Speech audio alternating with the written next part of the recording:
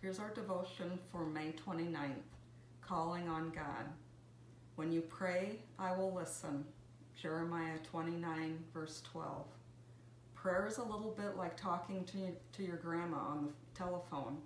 You can't see her, but you know she's there because you can hear her voice. When you pray to God, you can't see him either. You might wonder if he's really there. This verse is God's promise to you that he's always ready to listen. Even though you can't see him, talk to God and tell him. Tell him what's going on in your life. He loves to hear from you. God always listens to me when I pray. I love to talk with him every day.